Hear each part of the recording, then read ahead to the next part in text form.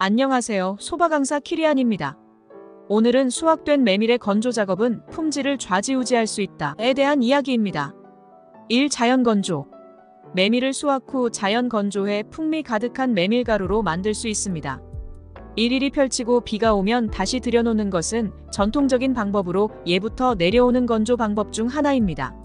그래서 수확 전 일기예보를 확인하는 습관이 좋으며 장마나 습도가 올라가지 않는 타이밍이 가장 좋다고 합니다. 바람이 잘 통하는 비닐하우스나 실내에서 건조합니다. 2. 햇빛 건조. 햇빛을 이용해 말리는 방법입니다. 그늘에서 말릴 때와 조금 다른 메밀로 건조되며 수분의 함량이 1316% 정도가 베스트입니다. 3. 기계 건조. 요즘은 건조기의 성능이 좋아 우천시나 장마에도 걱정이 없는데요. 열에 약한 메밀이라 건조에 주의해야겠습니다. 재분소와 같이 대량의 메밀을 재분하거나 국수를 제조하는 곳에서는 기계에 의한 건조가 일반적인데요. 이것을 실행하는 곳과 아닌 곳이 있습니다.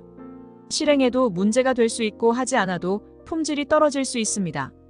고온으로 건조하면 빠른 시간에 많은 양의 메밀을 건조할 수 있지만 열에 의해 향과 맛의 변화가 올 수 있습니다.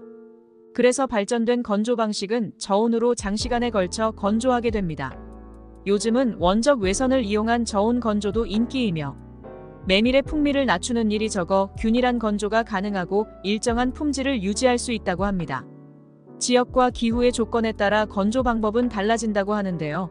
어느 것이 최선이다 콕 집어 말할 수 없지만 시간과 공을 들여 원재료의 풍미를 보존하는 쪽이면 좋겠습니다. 그래서 기회가 된다면 알맞게 건조된 것과 아닌 것, 둘의 맛을 비교해 보는 것이 좋을 것입니다. 완전히 다른 맛의 메밀로도 만들어질 수 있기 때문입니다.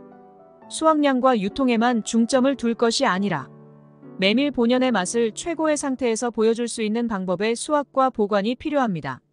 소비자에게는 품질 좋은 메밀로 각인되고 그에 따른 부가가치를 일으키는 브랜드가 한 개쯤은 나올 시기가 된 것 같습니다. 오늘은 여기까지입니다. 소바강사 키리안이었습니다. 감사합니다.